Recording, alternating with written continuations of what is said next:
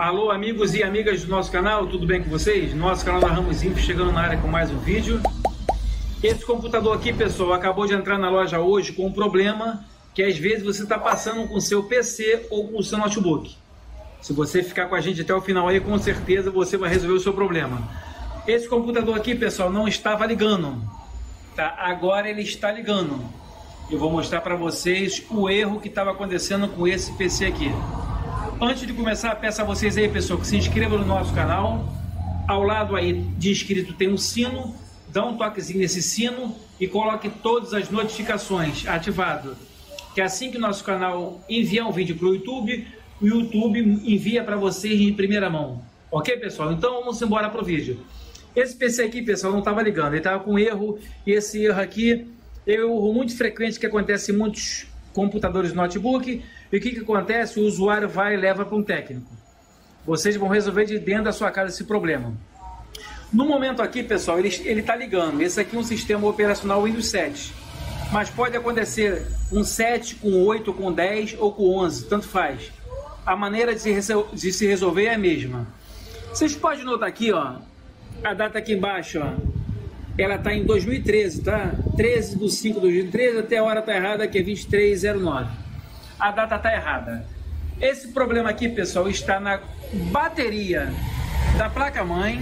Essa bateria aqui que tem que ser trocada e tem que entrar uma tem que se fazer uma configuração dentro do BIOS para que esse problema não volte de novo. Vamos fazer um teste aqui. Eu vou estar desligando esse computador e está ligado o sistema operacional, né? Eu vou estar ligando ele, desligando. Ó, vou desligar ele e vou ligar ele de novo para vocês verem o erro que está dando nele. Aí você vai ver. Isso pode ser com qualquer placa-mãe que esteja acontecendo, tá? Ó, o meu PC agora aqui, ó, desligou. Eu vou desligar aqui o estabilizador da loja e vou desligar a energia da parede. Eu vou ligar a energia na parede aqui, vou ligar o meu estabilizador e vou acionar ele aqui, ó. Eu vou acionar ele agora, ó acione ele para ligar. Olha o erro que ele vai mandar. Ele não consegue abrir o sistema operacional. É uma placa-mãe positiva, tá? Mas pode acontecer com qualquer placa-mãe. Ó, já está informando ali que o, o CMOS está incorreto, né?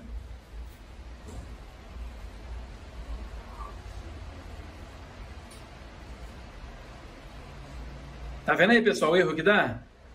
Ela não sai dessa tela, ela não vai para o sistema operacional.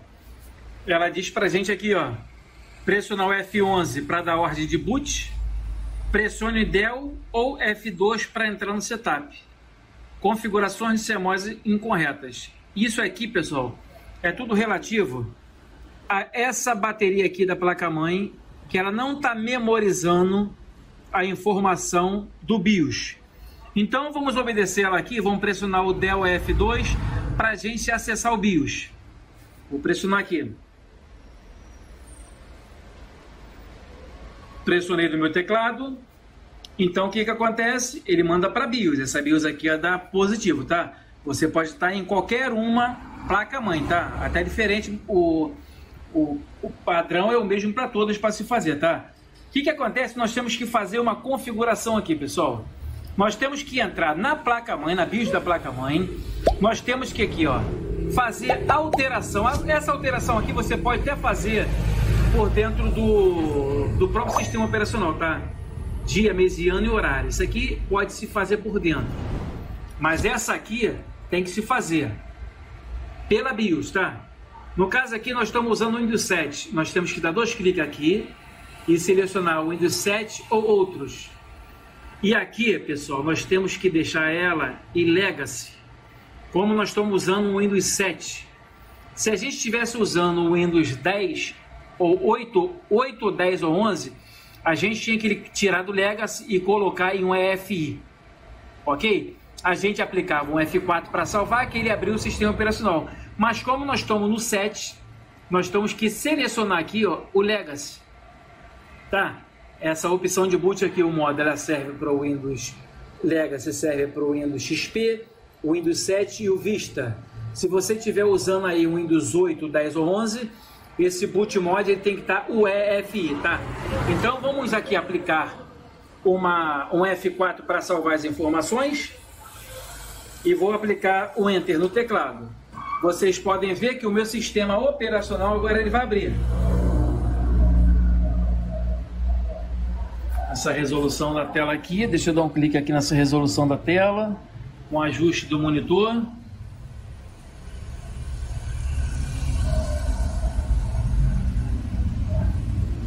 Está fazendo o carregamento do sistema. Esse erro, pessoal, pode acontecer com qualquer computador notebook. Esse erro a pessoa às vezes fica até sem saber o que fazer. É um erro muito simples, só seguir esse passo a passo do vídeo que vocês vão resolver. Vamos aguardar aqui abrir o sistema operacional. Vocês podem ver que enquanto eu não trocar essa bateria dessa placa-mãe aqui, ó, enquanto eu não trocar essa bateria, ele vai ficar com esse erro. Ele entrou de novo porque eu fiz a configuração no BIOS. Para esse BIOS ficar memorizado, nós temos que trocar. Então, pessoal, para você fazer esse procedimento de, tro de trocar a bateria da sua placa-mãe, você primeiramente tem que tirar a energia estática da palma da sua mão. Você com as duas palmas da sua mão, vocês colocam pressionando na parede para tirar a energia estática, tá? Uns 10 segundos pressionando. Outra coisa, não deixe o cabo de alimentação do seu computador ligado na tomada, tá? Ele não pode ficar energizado. Quanto à bateria, pode ser qualquer marca de bateria, tá? A melhor que eu uso para durar mais tempo é a bateria Sony. Se você estiver fazendo esse procedimento em notebook, também muito cuidado com a energia estática da palma da sua mão, assim como a bateria da sua placa-mãe, tá?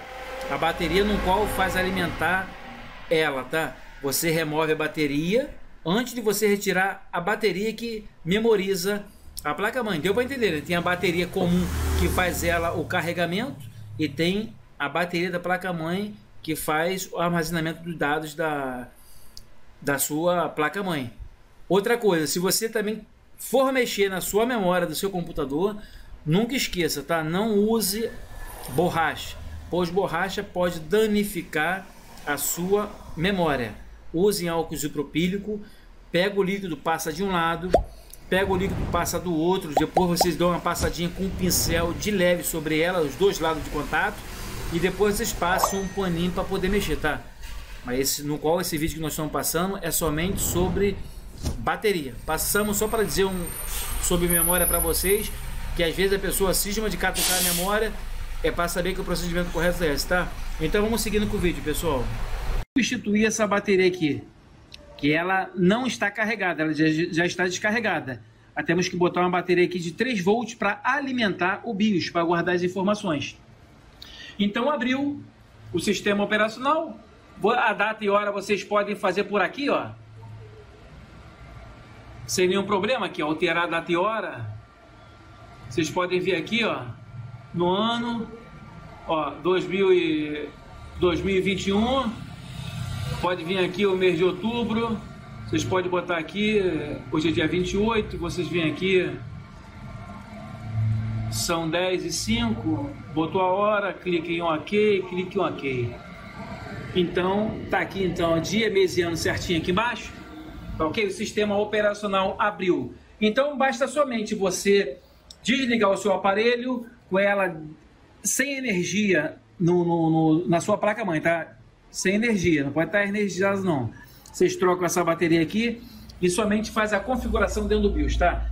Então, para o Windows XP 7 ou Vista, vocês deixem boot mod Legacy, tá? E vão lá e bota para o Windows 7 ou outros. Se você estiver usando o Windows 8, 10 ou 11, vocês botam para o boot mod o EFI e troca lá em cima também. De 8 vocês trocam para o Windows 7 e outros. Aplica um F4 ou F10 ou F12, depende da sua placa-mãe, e só salvar que a sua BIOS vai estar memorizado e ela não vai vir diretamente mais para BIOS. Quando você ligar o seu PC ou notebook, ele vai abrir diretamente o sistema operacional. Ok, pessoal? Nosso canal fica por aqui. Se gostou do nosso vídeo, se inscreva no nosso canal ativa o sino que é muito importante que você vai receber nosso conteúdo todo dia. E nosso canal amanhã volta, pessoal, com outra dica de tecnologia. Um forte abraço a todos. Fui. Tchau, pessoal.